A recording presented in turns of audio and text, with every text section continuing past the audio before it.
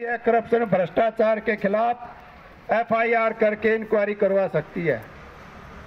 वो इन्होंने ज़बरदस्ती छीन लिया।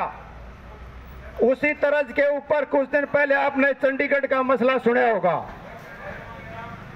अमित शाह बोलता है, ये केंद्र प्रशासित है और केंद्र प्रशासित होने से हमारा ही कब्जा है इसके ऊपर। सबको पता है, केंद्र प्रशासित है, कोई नई बात नहीं है ये। ठीक है? देखिए फ़ोटो कॉपी और करा लेनी थी। मतलब क्या है? ये सारा काम ज़ोर ज़बरदस्ती गुंडागर्दी करवाते हैं चाहे हमारे तीनों कृषि कानून किसानों के ऊपर जो थोपे गए थे वापिस करवा दिए गए हैं वो हों चाहे और भी कोई इनकी नीतियाँ हों ज़बरदस्ती करते हैं।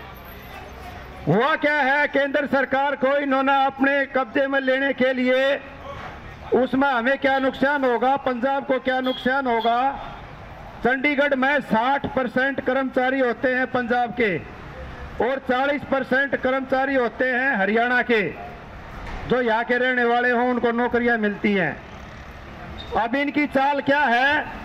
जैसे बड़ी बड़ी एजेंसी जो इन्होंने अपने अंडर ज़बरदस्ती कर ली है, उसी तरह चंडीगढ़ को अपने कब्जे में करके अपनी मर्ज़ी से नौकरियाँ देंगे।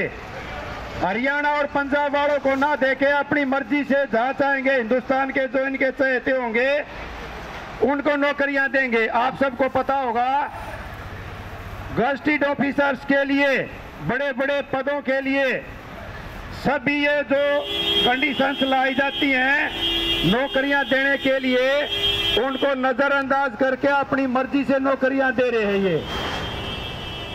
इनका जालसाजी क्या है? इन जो हक है सभी के, चाहे कोई हरियाणा का हो, चाहे कोई पंजाब का हो, उनसे छीन के हम अपने कब्जे में सब कुछ कर लें। पूरे देश की बागडोर है। वो चुनिंदा नेताओं दो चार के हाथ में और पचास, साठ पूंजीपति बड़े बड़े अंबानी अडानी और इन जैसे, पूरा देश उनके कब्जे में आ जाए।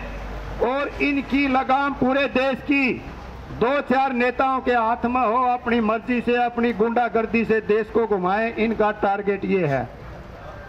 चन होगा 40 परसेंट नौकरियाँ जो चंडीगढ़ में मिलती है, उन पर हमारा कोई अधिकार नहीं रहेगा। जब होगा खट्टर के ऑफ़िस में, जितने भी ओएसडी हैं, एक दो को